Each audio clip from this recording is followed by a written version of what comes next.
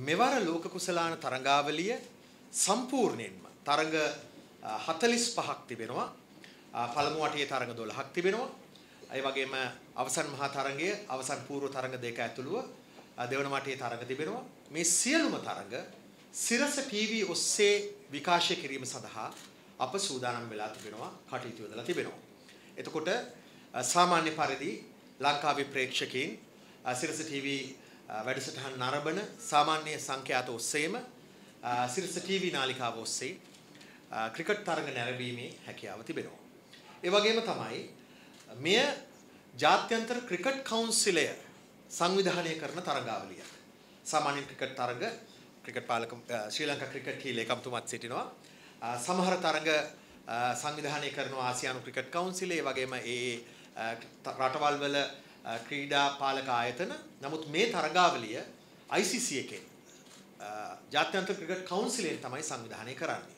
ඒක නිසාම ඔවුන් ඉතාමත්ම තදින් මේ තරගාවලිය පිළිබඳව මෙහි විකාශනය පිළිබඳව සොයා බලනවා නීති රීති ගණනාවක් ඒ විකාශන අයිතිය හිමි ආයතන වෙත පනවා තිබෙනවා.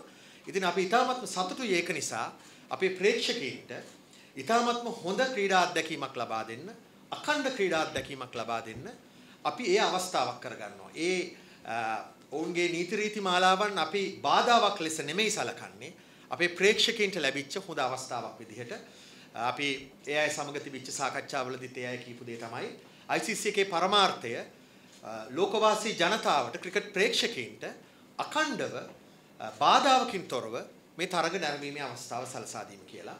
ඉතින් ඒක නිසාම සිරස ටීවී ඔස්සේ මේ තරග කිසිම බාධාවකින් තොරව ඔබ වෙත ගෙන එන්නට අපි කටයුතු කරනවා. අපේ ප්‍රේක්ෂකයින්ට හිතෙන්න පුළුවන් ප්‍රවෘත්ති විකාශය සඳහා මේ තරග නතර කරයිද කියලා.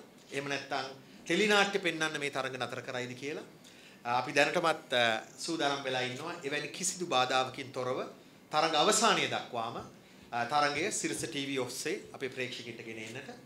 ඒ වගේම තමයි මේ තරග වලට පෙර මේ තරග පිළිබඳව කතා කරන්න විශ්ලේෂණය කරන්න ඒ වගේම තරගයේ ස්වභාවය කටයුතු කළ යුතු ආකාරය කොහොමද අපේ ක්‍රීඩකයන් කටයුතු කළ යුත්තේ කියන ආකාරය පිළිබඳව විශේෂඥ විස්තර තොරතුරු දැනගන්නට අපි සූදානමින් සිටිනවා විශේෂ වැඩසටහන් කිහිපයක්ම සංවිධානය කරන්න.